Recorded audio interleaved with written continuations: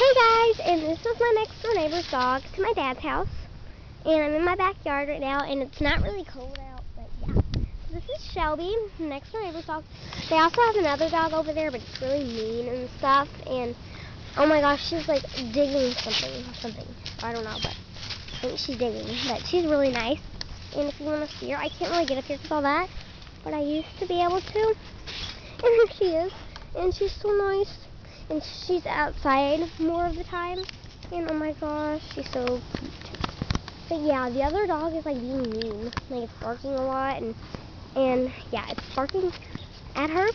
And then it started barking just randomly. But yeah, that's Shelby.